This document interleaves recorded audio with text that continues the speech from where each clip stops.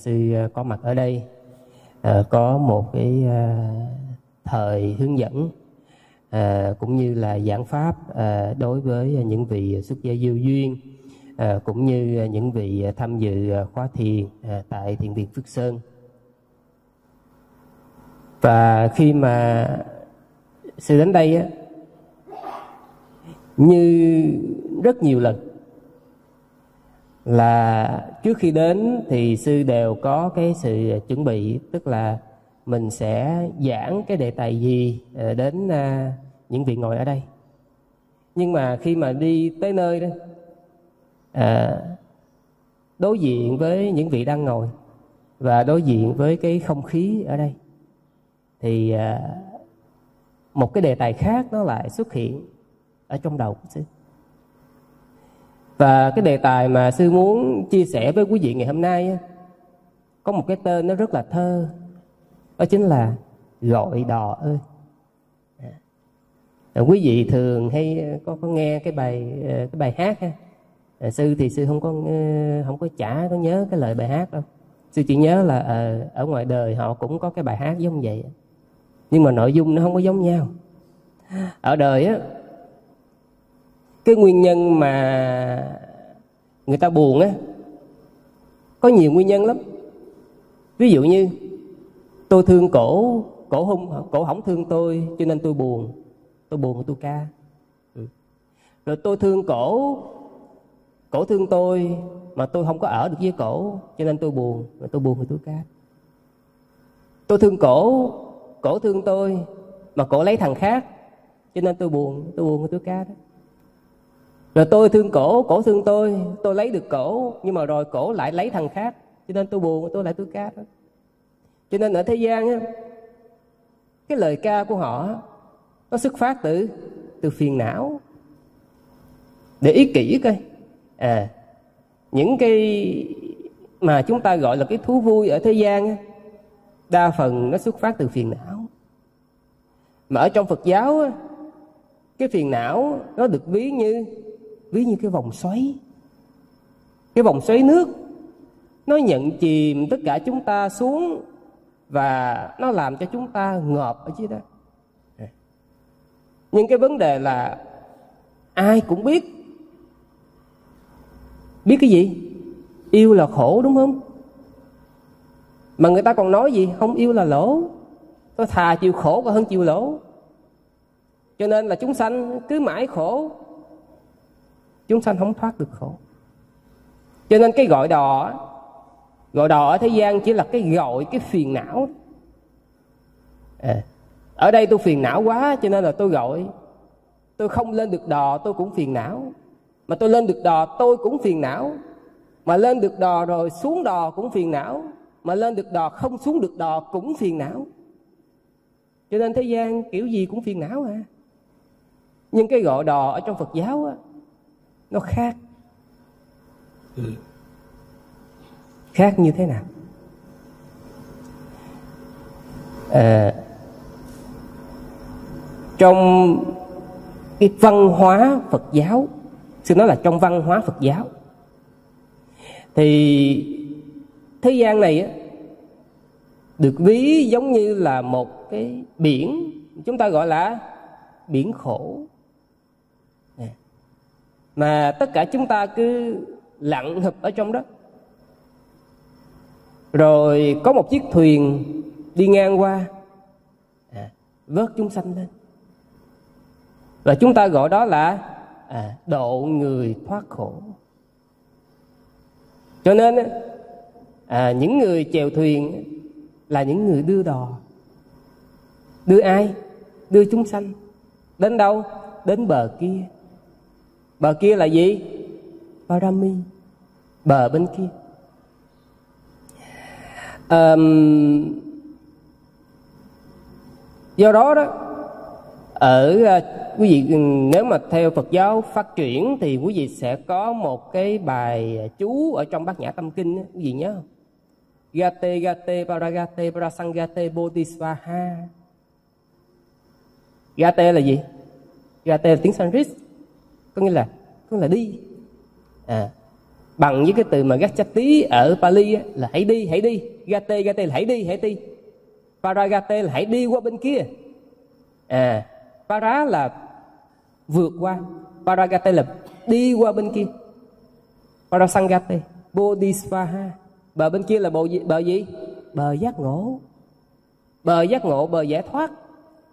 À cho nên khi mà đưa đò là đưa đến đến bờ giác ngộ. Thành ra cả một cái bài kệ bài cái bài chú đó, đó mà nhiều vị là thuộc nằm lòng sư bây giờ sư vẫn còn thuộc mà. À. nói thiệt quý vị chứ sư vẫn còn thuộc một vài một vài câu chú ờ, hồi xưa vẫn học ấy. Thuộc. Nhưng mà chúng ta tụng như vẹt không có hiểu nghĩa. Mà ý nghĩa câu đó là hãy đi hãy đi hãy đi qua bên kia hãy đi đến bờ giác ngộ. À, mỗi ngày một bụng phiền não chúng ta ngồi chúng ta tụng gate gate gati parasangate bosivaha tụng thì tụng mà đi không chịu đi.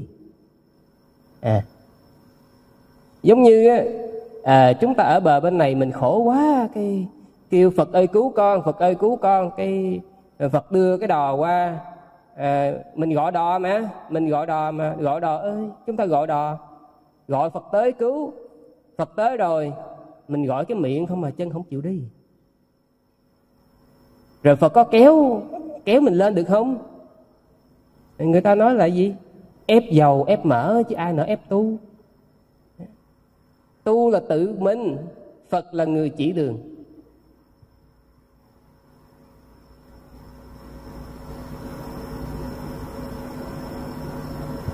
Do đó, người trí thì khi mà khổ à, thì biết kêu.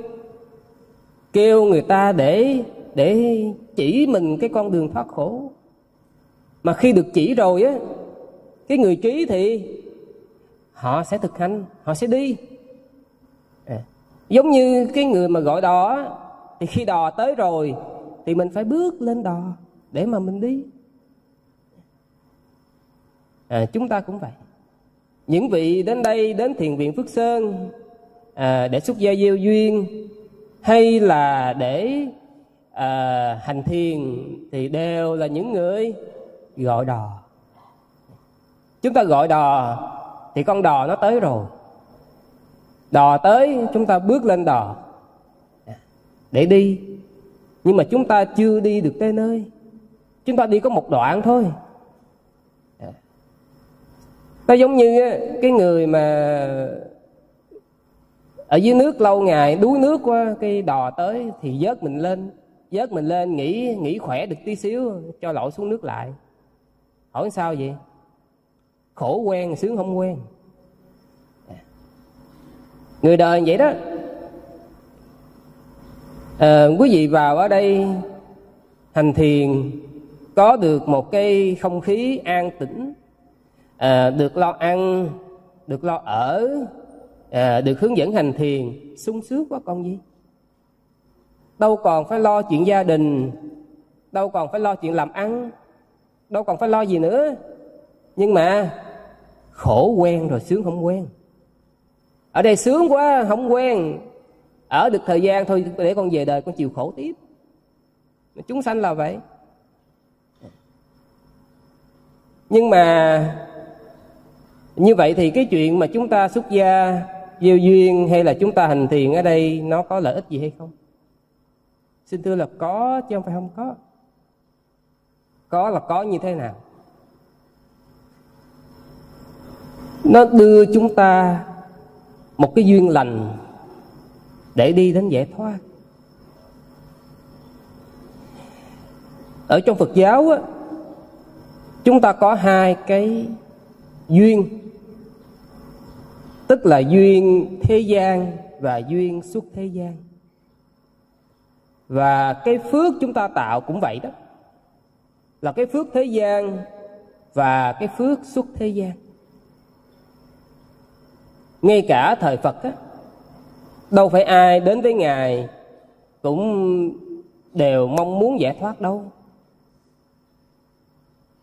Và sư tin là có rất nhiều vị cái chuyện mà giác ngộ giải thoát đối với mình á nó xa dữ lắm.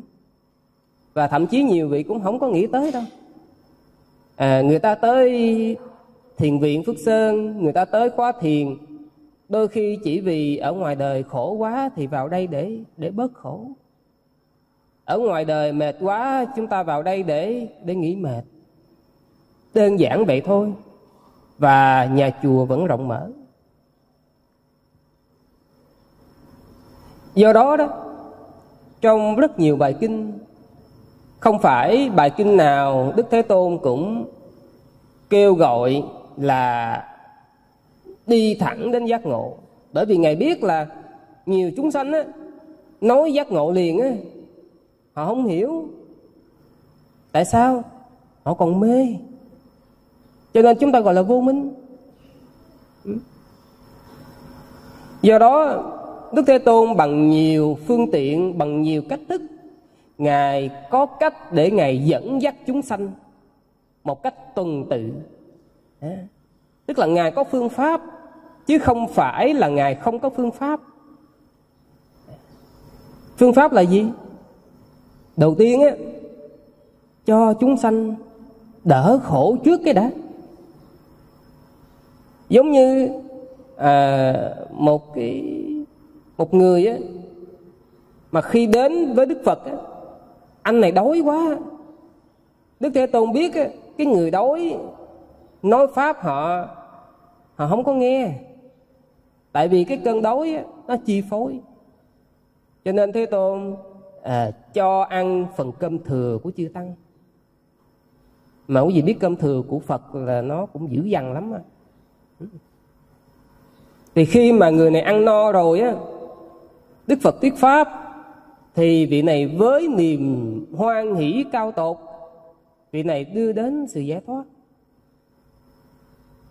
Thì cái chuyện mà cho ăn á đó là một cái cách thức à, một cái phương tiện để giúp cho cái người người đến họ có thể à, giải thoát giác ngộ. Thì như vậy á việc chúng ta đến đây nè ừ, chúng ta có mặt ở đây nó cũng là một cách thức một phương tiện. Phương tiện như thế nào? Mình bớt khổ trước cái đã. Nó giống như là một cái trạm dừng chân một nơi để nghỉ mệt. À, ở ngoài đời khổ quá rồi thì à, bớt khổ trước cái đó nghỉ khỏe cái đó. Lấy lại sức. Rồi sau đó mới tính đến chuyện tiếp theo. Rồi khi mà đã ờ, ở đây rồi, chúng ta có một cái bầu không khí tu tập, một không gian yên tĩnh ờ, một cái môi trường trong lành. Chúng ta hoan hỷ. Nhờ như vậy á, những cái lo toan, những cái muộn phiền nó giảm nhẹ rồi khi giảm nhẹ như vậy á à, chúng ta tiếp tục làm những thiện pháp. Những thiện này á có khi là những thiện hiệp thế có khi là những thiện siêu thế. Ví dụ như à, chúng ta được hướng dẫn giữ giới chúng ta được hướng dẫn hành thiền. À, hành thiền mình chưa nghĩ đến sự giải thoát cũng không sao hít thở trước cái đã, cứ hít thở đi. Thở cho nó nhẹ đi đã.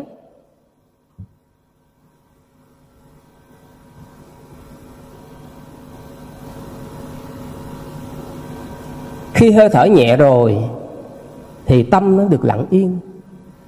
Khi tâm nhẹ rồi, thì chúng ta dễ được định tĩnh. Khi định tĩnh được rồi, chúng ta dễ lắng nghe khi lắng nghe được rồi, chúng ta dễ suy xét. Khi suy xét được rồi, tâm chúng ta hướng đến thiện, hướng đến thoát khổ. Do đó, đức thế tôn nói, này các tỷ kheo, trong tấm thân tứ đại này đó, như lai chỉ thuyết có hai chuyện thôi. Một là khổ và hai là con đường đưa đến diệt khổ. Chúng ta ngồi ở đây giống như chúng ta ngồi trên một chiếc đò. Và cái đò này á đưa chúng ta đi đâu? Thì chúng ta ở được bao lâu là do chúng ta? Đưa chúng ta đi đâu? Đưa chúng ta đi đến đến bờ thoát khổ. À, còn ở được bao lâu là do mình? À, mình hoan hỷ thì mình sau khi kết thúc khóa thiền sau khi kết thúc khóa tu chúng ta tiếp tục ở nữa. À, còn nếu như mà à, quen với cái khổ ở đời rồi thì mình lại về về với đời thôi. Nhưng mà ít nhất thời gian chúng ta có mặt ở đây là thời gian chúng ta đang tạo nên hai cái phước. Một là phước thế gian và hai là phước suốt thế gian. Phước thế gian á, giúp cho chúng ta có được hạnh phúc, an lạc đời này và đời sau. Suốt thế gian giúp cho chúng ta chấm dứt hoàn toàn sanh tử luân hồi. Thế thì tại sao trong rất nhiều à, phương pháp để làm thiện mà chúng ta lại chọn cái chuyện là xuất gia gieo duyên hay là chọn cái chuyện là đi đến đây để ngồi thiền. Trong bài kinh ví dụ giết bè đó à, chính xác mà nói là à, bài kinh ví dụ con rắn nhưng mà trong bài kinh ví dụ con rắn á, có ví dụ chiếc bè thì đức thế tôn ví như một người á đóng chiếc bè đi từ bờ bên này đến bờ bên kia. À, thì cái bè đó được ví cho chỉ và quán ví cho định và tuệ. Nhờ vào chiếc bè đó mà một chúng sanh á, có thể đi đến bờ giải thoát giác ngộ. Do đó chúng ta đang ngồi ở đây thực hành chỉ quán. Đó là chúng ta đang bước trên chiếc bè để đi đến bờ giác ngộ giải thoát. Vậy thì tại sao mà à, có những vị lại à, xuất gia gieo duyên? Bởi vì á việc xuất gia gieo duyên á, giúp cho chúng ta có được sự hỗ trợ của giới và sự hỗ trợ của của đức. Sự hỗ trợ của giới á, là bình thường cư sĩ á, thì có năm giới thôi. À, trong những ngày bố tát thì có tám giới. Nhưng mà khi xuất gia chúng ta có được sai di giới trong sa di giới á, nó có à, ngoài cái giới của mình á, nó còn có ưng học pháp. Tổng cộng lại à, chúng ta có rất nhiều giới mà chính nhờ những giới đó nó làm cho cái gốc của chúng ta đó nó cứng cáp hơn. Quý vị biết là một cái cây á mà nó có nhiều rễ rễ nó càng cứng bao nhiêu cái gốc càng lớn bao nhiêu thì cái cây càng khỏe bấy nhiêu. Cũng vậy nhờ nương nhờ vào giới mà việc tu tập của chúng ta nó được nhanh chóng được thuận lợi. Đó là nhờ tác dụng của giới. Rồi do nhờ tác dụng của đức á, là như thế nào? Chúng ta nhờ nhờ đức của tam bảo. Cái ân đức tam bảo á, nó lớn dữ lắm. Sư rất hy vọng là quý vị những người xuất gia gieo duyên á, trong những ngày này quý vị có thể cảm nhận được cái đức của tam bảo. Tại vì có những cái mà ở đời á chúng ta không có. Nhưng mà khi chúng ta xuất gia rồi á nó lại có thể có. Đó là nhờ cái đức của tam bảo.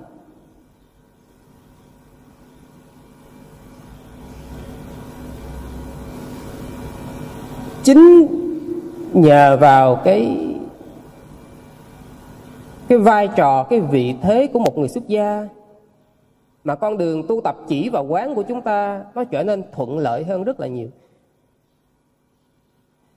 Còn đối với cư sĩ thì có rất nhiều cách để làm thiện như sư nói hồi nãy. Nhưng mà tại sao chúng ta lại chọn con đường hành thiện? Bởi vì chỉ vào quán là con đường nhanh nhất, con đường tốt nhất, con đường thẳng nhất để đi đến bờ giải thoát giác ngộ.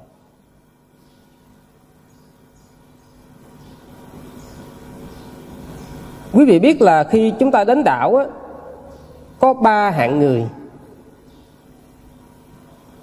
Hạng người mạnh về à, mạnh về về trí. Hạng người mạnh về niềm tin. Và hạng người mạnh về tinh tấn. Thì hạng người mạnh về trí á, như là bồ tát của chúng ta. Khi mà ngài xuất gia từ khi ngài phát tâm thành chánh đẳng giác á, ngài cho đến khi mà ngài được à, ngài được thọ ký á, ngài trải qua 20 gia tăng kỳ và 100 ngàn đại kiếp. Tức là ngài đi về trí. Còn bồ tát mà đi về niềm tin á tốn thời gian gấp đôi tức là 40 a tăng kỳ và 100 ngàn đại kiếp. Còn hạng Bồ Tát mà đi về tinh tấn á, là lâu gấp đôi nữa tức là 80 a tăng kỳ và 100 ngàn đại kiếp. Và Bồ Tát Mét Tây Giá chúng ta là hạng mạnh về tinh tấn. Cho nên á, vì chúng ta thực hành chỉ quán á, là con đường nhanh nhất để đi đến bờ giải thoát giác ngộ.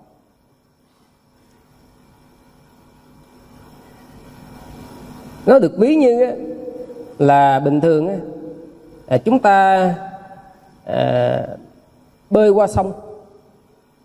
Chúng ta có thể bơi bằng cái sức của mình. Nhưng mà tốc độ bơi của mình nó nó chậm. Thì có con đò đi ngang qua và mình nhờ đi đi nhờ một đoạn. Và chúng ta gọi đó là gì? Quá gian nghe quen không? Cái từ quá gian à chúng ta hay kiểu à, đi đâu đó là cho tôi quá gian một đoạn. Thì quá gian là đi nhờ qua sông đó thì việc mà chúng ta đến đây đến thiền viện Phước Sơn này tham dự khóa thiền hay là xuất gia gieo duyên là chúng ta đang quá gian một đoạn. Mà ở trong chú giải kinh trung bộ số 10 là bài kinh đại niệm xứ có nói rằng á, việc thực hành tứ niệm xứ là phương pháp giúp cho trí tuệ của chúng ta ngày một chín mùi. Chúng ta càng thực hành á, thì trí tuệ của chúng ta ngày một chín. Và khi nó chín đủ thì chúng ta giải thoát. Khi chúng ta là cư sĩ mà chúng ta thực hành tứ niệm xứ, sư đang nói ở ngoài đời nha, người cư sĩ ở ngoài đời thực hành tứ niệm xứ cũng giúp cho trí tuệ của người đó dần chín mùi và đi đến giải thoát. Nhưng mà tốc độ rất là chậm. Tại vì sao? Vì người cư sĩ ở ngoài thế gian á bị chi phối bởi rất nhiều thứ. Bởi việc làm lụng nè nuôi bản thân nuôi gia đình nè, nuôi vợ con nuôi cha mẹ. Rồi nào là những chuyện ban giao tế lễ. Và có rất nhiều những chuyện khác làm cho mình bị phân tâm. Cho nên việc thực hành tứ niệm xứ của người cư sĩ tại gia đó nó rất là khó khăn bị chi phối nhiều lắm. Thì cái tốc độ cho cái trí tuệ của chúng ta chín mùi á, nó chậm.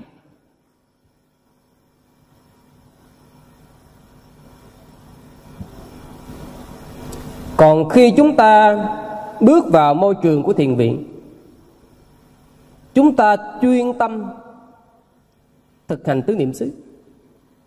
Thì khi đó cái trí tuệ của chúng ta, nó chín nhanh hơn. Một ngày ở ngoài đời á, thử tính coi mình ngồi thiền được bao lâu. Nói thiệt là ở ngoài đời mà một người duy trì được một ngày ngồi một tiếng là họ dỗ ngực họ tự hào rồi. Một ngày một tiếng á.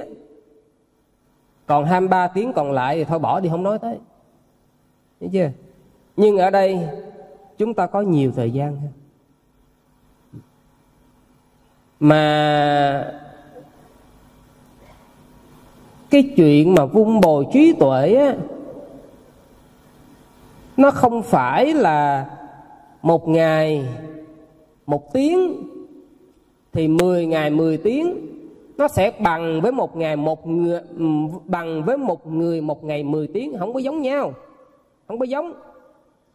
Nhớ nha một ngày mình ngồi thiền một tiếng đồng hồ, thì nó không thể nào mình so được với một người một ngày ngồi 10 tiếng đồng hồ. Không giống. Tại vì cái khả năng cho trí tuệ chín mùi á, nó không giống nhau. Và khi chúng ta có được cái môi trường như thế này, chúng ta rèn luyện thì cái trí của chúng ta nó mau hơn để nó đi đến cái sự chín mùi.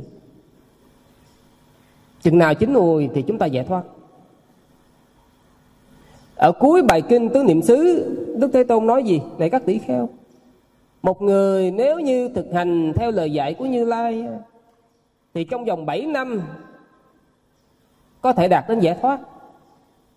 Mà không cần 7 năm nữa, chỉ cần 7 tháng cũng có thể giải thoát mà không cần 7 tháng nữa, chỉ cần 7 ngày là có thể giải thoát.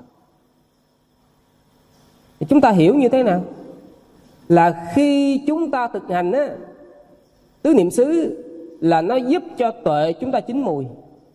Người đã thực hành từ trước thì bây giờ nó chín mùi nhanh. Người thực hành chậm thì bây giờ nó chín mùi trễ. Nhưng có thực hành thì nó sẽ đi đến đích. Nó giống như một cái trái cây xuyên suốt một tháng trời, từ lúc nó kết hoa cho đến khi nó bắt đầu nó chín, nó trải qua hết một tháng. Ừ. Một, trong suốt một tháng đó là nó dần dần đi đến sự chín mùi rồi. Nhưng mà ngày hôm nay nè, tối ngày hôm nay nè, nó vẫn chưa kịp chín. Nó chín rồi đó, nhưng mà nó nó chưa có rụt hẳn. Và sáng ngày hôm sau, khi mặt trời vừa ló dạng, một cơn gió thổi qua, cái trái cây nó rụng xuống. Thì sự rụng của một trái cây đã chín mùi đó. Nó có liên quan đến một tháng trước nó đã nỗ lực lên nó chín không? Có liên quan. À, người ngoài nhìn vào nói ồ cái trái này nó chín nhanh quá mặt trời vừa ló dạng là nó chín rồi. Nó nó nó rụng xuống rồi. Nhưng thực tế cái kết quả của việc rụng xuống ấy, là một tháng trước đó nó đã bắt đầu là nó đi đến sự chín.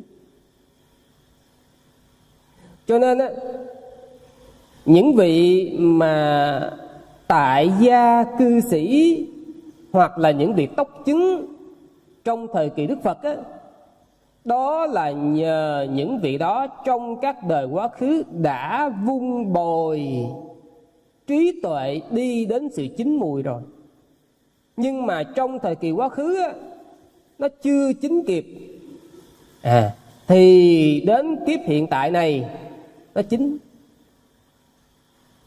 còn mình thì trái nào còn xanh trái nào hườm hườm trái trái nào chín mà chưa có rục mình không biết. Nhưng mà không biết là một chuyện. Mình tu là một chuyện. À, mình vẫn phải tiếp tục tu. Ở trong phật giáo á,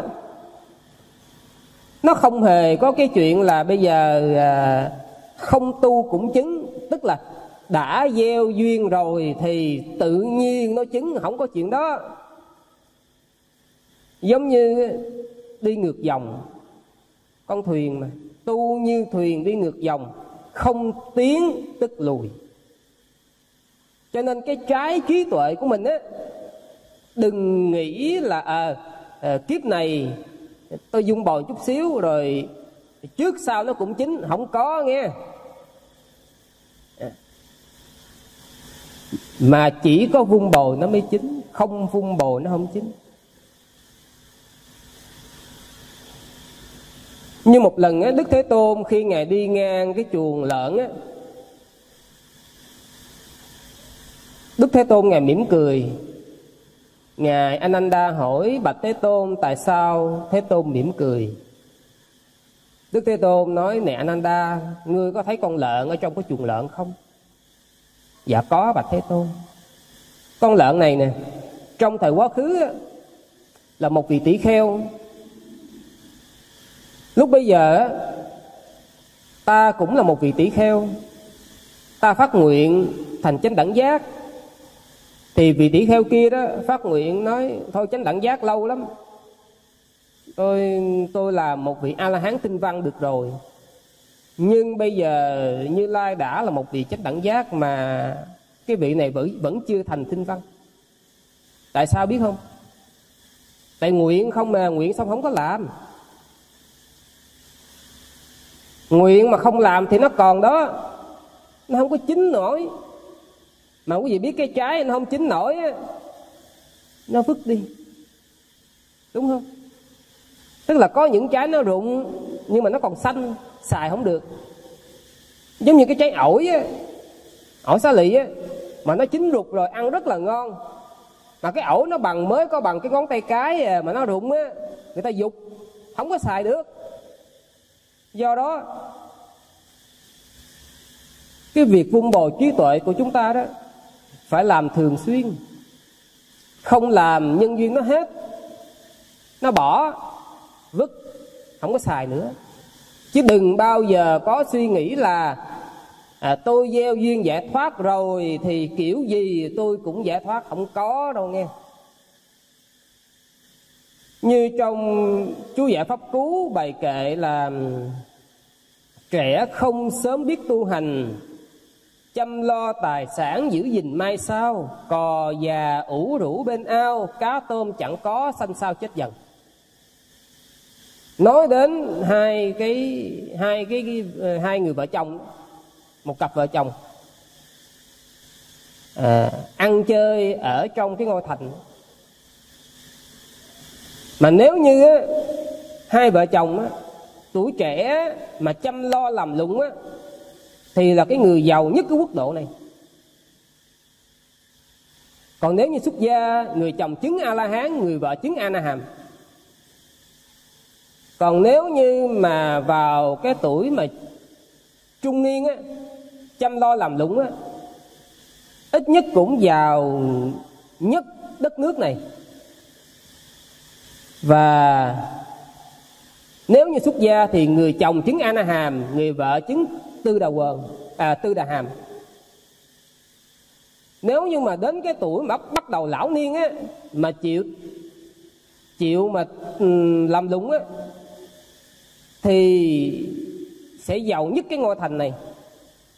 Còn nếu xuất gia thì người chồng á chứng à, tư đà hòa tư đà hàm người vợ chứng tu đà quần. Nhưng mà do bây giờ già cả rồi tài sản thế gian cũng mất tức là đi ăn xin. Mà tài sản xuất thế gian cũng mất tức là cũng không chứng đắc gì được nó là một tiếng chuông cảnh tỉnh cho chúng ta. Nếu như chúng ta nghĩ là mình chỉ cần có duyên giác ngộ là tự giác ngộ, chuyện không có. Có duyên là một chuyện, phải tiếp tục nỗ lực là chuyện khác.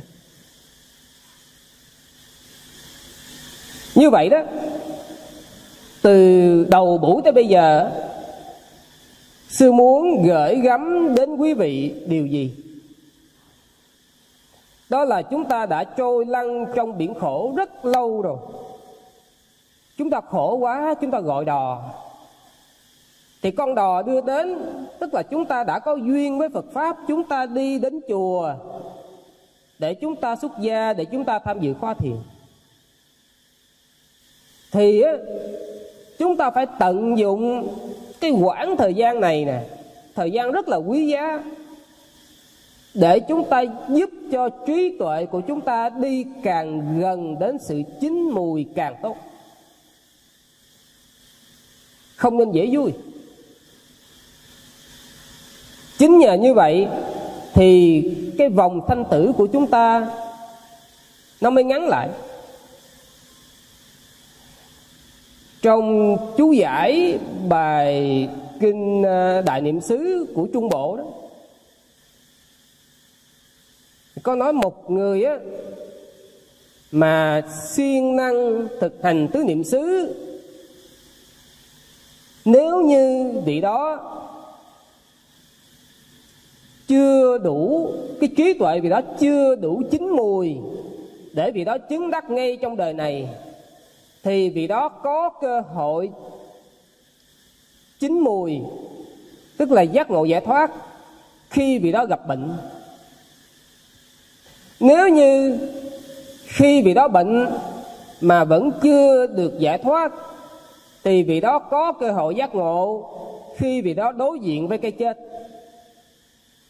Nếu như khi đối diện với cái chết mà vị đó vẫn chưa giải thoát thì vị đó có cơ hội sanh về cõi trời để à, để tu hành giải thoát ở trên đó nếu như vị đó khi ở cõi trời mà chưa giải thoát được thì ở đời sau kiếp khác vị đó có thể giải thoát. Nếu như đời sau vị đó vẫn chưa giải thoát được vị đó có thể đổi nguyện để thành một vị à, thinh văn biệt hạnh hoặc thành một vị thượng thủ thinh văn hoặc thành một vị độc giác hoặc thành một vị chánh đẳng giác nhưng quý vị biết là với điều kiện gì không? Điều kiện là từ giờ trở đi vị đó nỗ lực thực hành tứ niệm xứ. Chứ không phải là mình tu chơi mấy ngày xong còn lại bỏ rồi mình hy vọng giải thoát ở đâu ra. Do đó đó sự nỗ lực chuyên cần á, rất cần thiết bây giờ nè là chúng ta đang quá gian à, gọi đò rồi leo lên đò đang quá gian một đoạn đường. Thì hãy nhân cơ hội này nỗ lực tinh tấn thực hành miên mật hơn. Rồi sau khi kết thúc khóa tu rồi rất nhiều người trong số chúng ta trở lại đời sống. Thì chúng ta vẫn phải tiếp tục thực hành các thiện pháp duy trì các thiện pháp. À. rồi á à, không có để nó mất đi. Bằng cách nào? Tranh thủ tranh thủ thời gian à, tham dự các khóa thiền tiếp nữa. Tranh thủ thời gian tham dự các khóa tu tiếp nữa. Để chi? Để nó không bị mất chứ một khi chúng ta lười rồi là chúng ta bỏ luôn. Có một số à, thôi sư nói nói người nói người người khác thôi thôi sư nói sư đi. Để bắt công ờ, nói người này người kia người ta nhột. Sư đi khi còn là cư sĩ á nha còn là cái người có tóc ở ngoài đời á à đêm đi làm về 8 giờ tối. Nhớ người yêu quá. Làm sao biết không? Chạy xe xuống Vũng Tàu, từ Sài Gòn chạy xe xuống Vũng Tàu thăm người yêu. Nhớ quá chịu không nổi.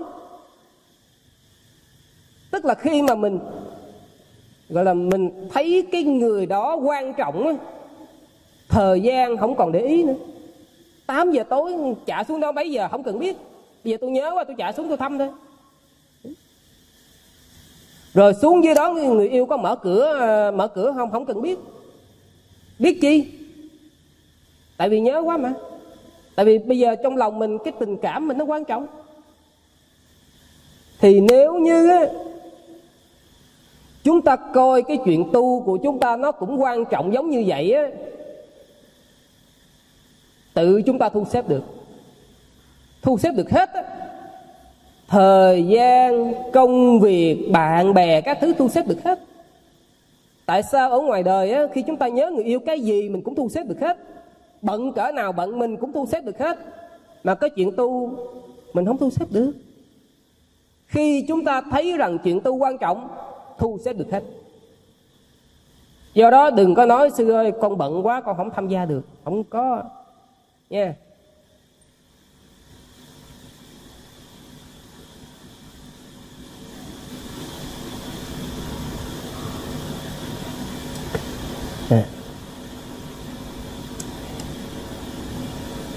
Và ở trong ờ, để coi xin ở trung bộ sư không nhớ là bài kinh 20 21 hay 22 nè. À, bài kinh 22 đang dạy. Cuối bài kinh nó có một câu là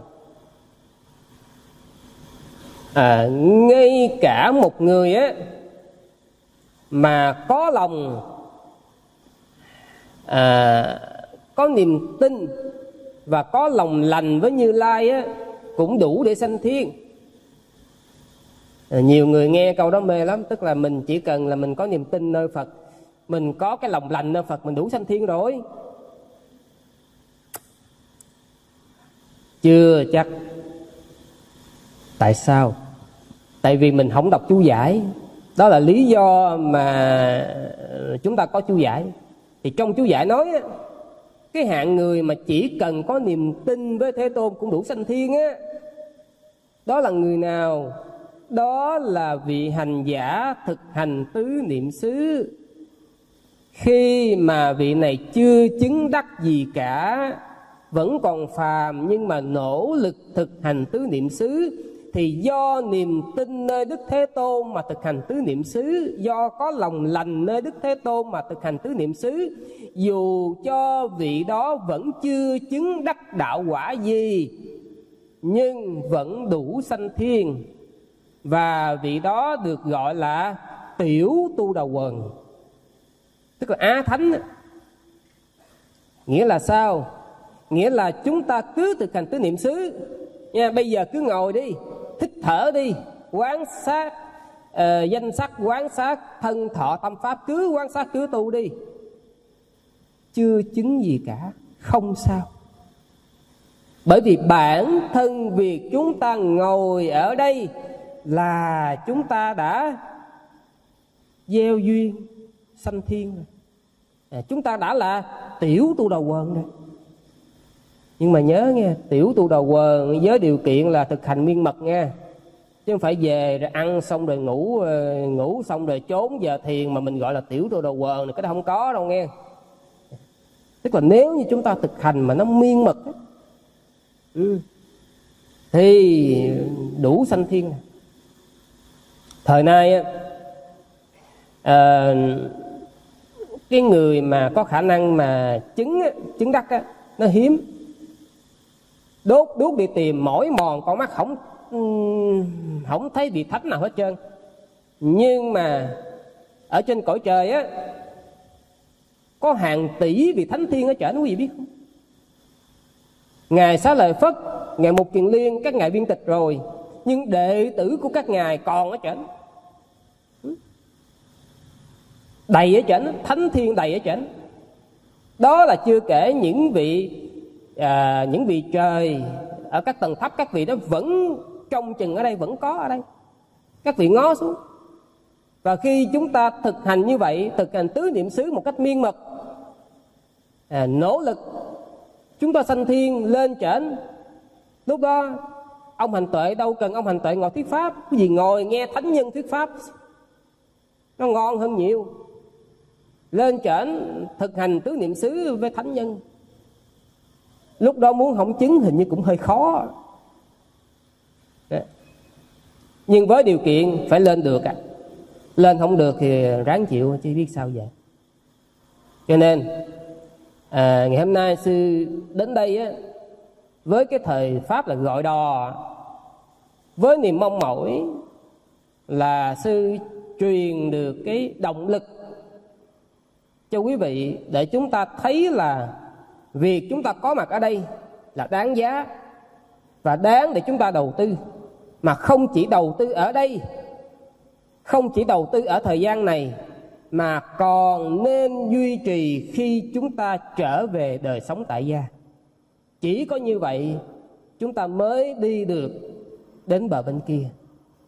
Cho nên à, kết à, thay cho cái kết bài à, kết bài pháp à, sư tặng lại quý vị cái câu ờ, thần chú mật tâm gate gate paragate parasangate bodhisattva. À, chúc quý vị an vui.